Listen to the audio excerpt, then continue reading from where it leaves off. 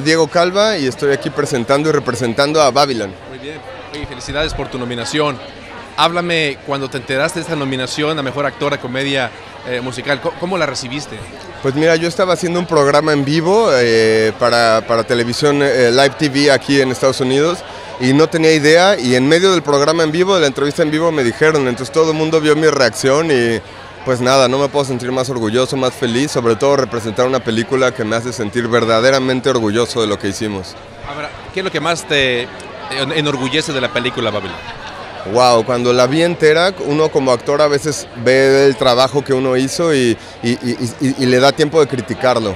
Sin embargo, yo soy una persona que verdaderamente ama las películas y cuando vi esta película no tuve un segundo para parar y pensar qué pudo haber sido qué pudo haber pasado. Para mí fue una experiencia, esta película es una experiencia y eso me hace sentir orgulloso. ¿Y cómo ha cambiado tu vida esta nominación, esta película?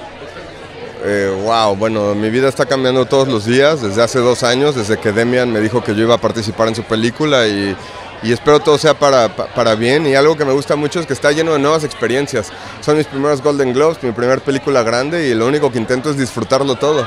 Y eso lleva mi siguiente pregunta, desfilar en alfombras de esta magnitud, rozarte con actores, actrices de alto nivel, que tú vas para allá, que vuelas.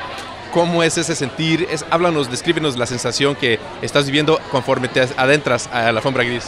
Bueno, lo que es interesantísimo es que tengo que portarme bien, pero estoy viendo caminar al lado de mí a gente que admiro tanto, que me dan ganas de correr, pedir la foto, el autógrafo, preguntarles miles de cosas. Eh, pero mira, uno la tiene que jugar cool, tiene que pretender que todo está bien y afortunadamente espero que ya en la ceremonia tenga tiempo de ir a tomarme foto con toda esta gente que he admirado toda mi vida. ¿Futuros proyectos que nos puedas compartir?